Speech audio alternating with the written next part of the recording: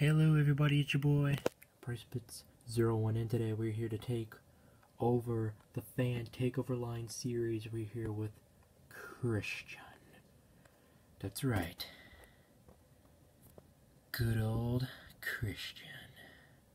So anyways, this is the picture of the box. This is back in good old 2011, which is nice. He has the Flip the Switch t-shirt.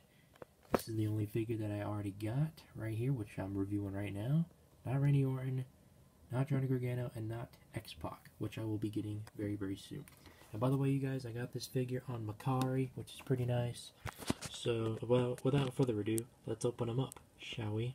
Here he is, guys, out of his packaging, yours truly, the main man himself, the one and only, hit the switch, Christian.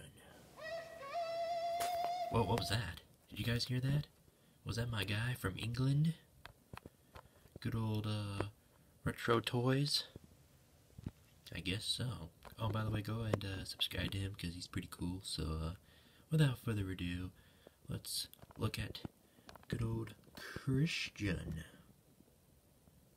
Here he is, ladies and gentlemen, old Christian with the old Scribble Scrabble logo on the World Heavyweight title, the big gold. I hope we see it someday soon in the WWE. Maybe upgrade the logo. That'll be pretty sick. But it's the same. As always, nothing hasn't changed. And yes, he comes with a few interchangeable hands. He comes with the opened, relaxed hands, having his hands out, like, hey mate, how's it going? Like the good old hello hands. And then you have the pointer fingers. You can call them the Daniel Bryan fingers. You can call them the I'm going to point at you pointy fingers. But I think the pointy fingers are supposed to be like the part from in every WWE game when Christian comes out. He um he likes he likes to do this, like points down on the ground or something when he's like trying to get the fans hype or something. And yours truly, he comes with the amazing Hit the Switch t shirt. I gotta say, I am super happy I got his t shirt. I don't actually have a t shirt of it in real life, of course, no. I'm saying I'm glad we got this t shirt in action figure form. I feel like they should have had made it earlier than I expected, but you know what? It's a fan takeover line, so they can add any type of t shirts whatever they want. So, yeah. This is what it looks like without him wearing it, so that's pretty cool. And of course, this is his wrestling attire in 2011 when he was in the Money in the Bank pay per view. Pretty nice, like the purple going around. It's kind of the same torso without, now, or should I say the same, um, it, this one is the attire that he was in in the Money in the Bank, but I also remember this figure being a part of with the John Long John Laurinaitis. Hopefully, I'm saying his name right, John Laurinaitis. He was in this one, but his he had a different head sculpt, so it's kind of like a re-release of this figure with the new head sculpt. So yeah, good to know. And he does come with the one and only. Comes with that little tattoo on his arm without further ado, let's just do the ticulation real quick. So, as an elite, of course, you can split his legs. Wicked awesome. Of course, you can move this so he can go swivel swivel. Of course, you can do it all the way around if you want to. Arms go 60 degrees. Same thing on this side right here. Pretty nice. Pretty nice. Uh, head goes around 60 degrees. Yepper and uh, you can move the hands if you wanted to. I'm gonna do his um his left hand. You can bend it. You can swivel it, like move it around a little bit. Same thing on his right hand. He can kick forward on his right leg as well, including his left. So that's pretty nice. And he can double joint, double jointed knees. He can definitely bend his knees. He can be like, why WWE? Why? I'm in AEW.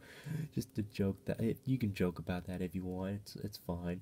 Will he ever come back to the WWE? I'm possibly sure. This is only like a one-time thing that he's doing with AEW. He just wants to wrestle and wants to wrestle some of the new competitors slash other people, wrestle someone different in AEW like Jungle Boy or Luchasaurus or Kenny Omega, which of course everybody wants to see these guys get in a ring together. Both heavyweight, both world heavyweight champions. You get heavyweight champion um, Christian, and then you get world heavyweight champion for Kenny Omega. So yeah, there you go. Um, let's move on. So you can also move this. Same thing for his left one. Hopefully you guys can see. Um, course, all-time favorite, the ankle pivot. Of course, you can bend his foot so he can kick a soccer ball, football, whatever ball type of basketball, whatever type of ball he can kick with his feet and stuff. And um, or you can do the you, know, you can do like a hopscotch match or something like that. Do some hot scotch, hot scotch, scotch or something like that. You know they do on the on the concrete. And, you know, you, you you guys know what I'm talking about.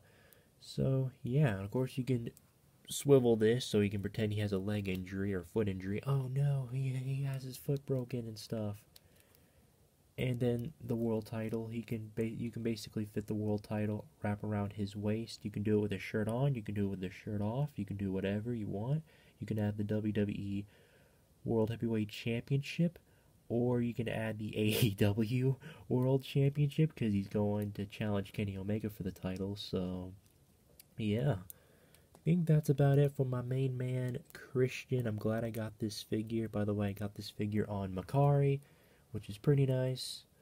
Um, he was going for 60 bucks, which is crazy, but we decided to lower it for 54, 54 bucks, so that's pretty nice.